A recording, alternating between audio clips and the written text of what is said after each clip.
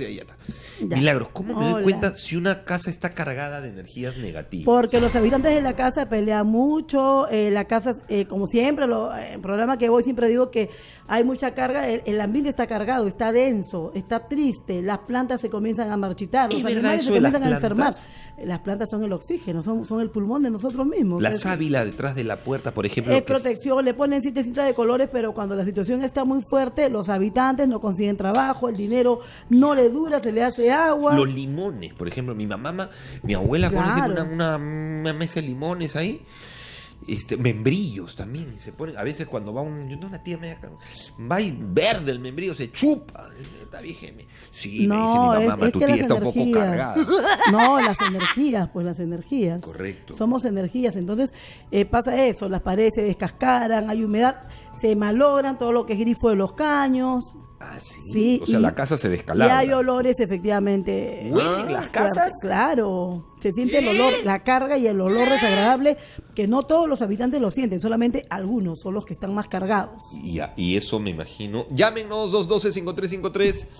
10, Oh, eh, ¿cómo y- limpiar, Carlos? Eso- Epa, eso, ¿Cómo eso. sacamos eso? Justamente la vez pasada que Apenas te también vine llamamos, acá, ¿no? Primero llamamos a. Milagros Alvarcito. Si estamos misios, ¿cómo arreglamos? Ya, tienen que echar bastante vinagre blanco a la casa con agua. Comienzan a trapear, agarran eh, un spray, un atomizador, perdón, le ponen agua agua normal con, Con aero- vinagre con blanco vinagre. y comienzan a limpiar todo y a pintar la casa, a cambiar los colores, a mover. Hasta para a- a cambiar mover las hay que cosas. tener plata, Para Dios. todo, no, de verdad. Y uno tiene que tener la mente positiva, pues si no tienes la mente positiva ¿Y no por qué avanzas. vinagre? Porque el vinagre blanco es, es un es un olor tiene un olor tan fuerte Ah, que ya. repela a las entidades, así es.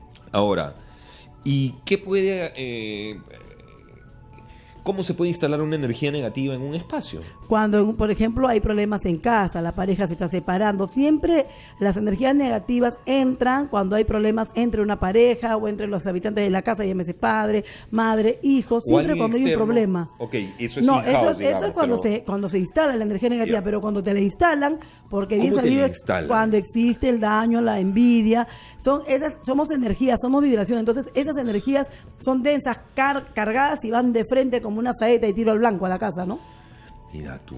O alguien envidioso que entra Por supuesto, por eso que yo siempre en la entrada de la casa debajo del felpudo poner ramas de canela y poner encima del felpudo. Para la persona que entra queda la energía ahí y, y va a tu Ramas de canela. Ramas de canela debajo del, del, del piso, Del pues, felpudo, ¿no? claro, del del felpudo. felpudo. Y un espejo. Ni bien entras a una casa, tiene que ser el espejo para que sea como una especie de ¡fua! atrapa y es un boomerang, ¿no? Para la persona que entra. Ahora, ¿cuánto tiempo las ramas de canela pueden quedarse ahí? O No, hasta que se cada sequen, semana, no sé, una semanal. semana, Preferible ¿no? martes o viernes, no sé qué.